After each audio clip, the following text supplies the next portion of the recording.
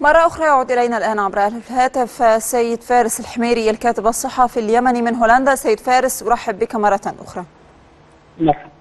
نعم إذا سؤالي إليك مرة أخرى عن جهود المبعوث الأممي إلى اليمن. يقوم في هذه الأثناء بجولة لمحاولة حل النزاع اليمني. كان في روسيا تلتها الإمارات والآن هو في سلطنة عمان. كيف تقيم جهود المبعوث الأممي سيد فارس؟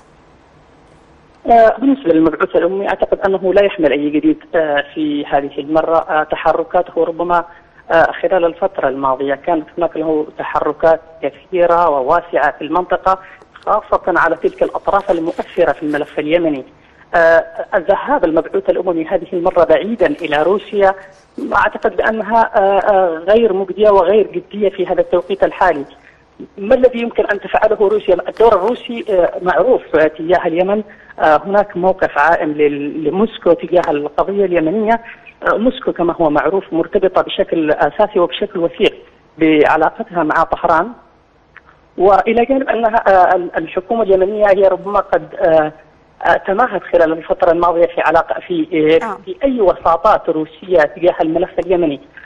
روسيا أو موسكو بالتحديد موقفها واضح تجاه القضية اليمنية وهو موقف عائم ربما يشبه إلى حد كبير موقف الأمم المتحدة وتحركات المبعوث الاممي في هذا التوقيت وذهابه بعيدا إلى روسيا وثم إلى حاليا ربما في في مسقط.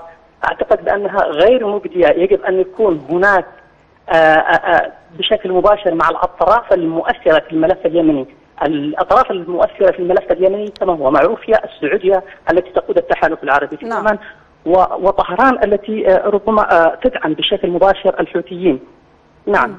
نعم وضحت الصورة كنت ضيفي عبر الهاتف من هولندا سيد فارس الحميري الكاتب الصحفي اليمني. شكرا لك.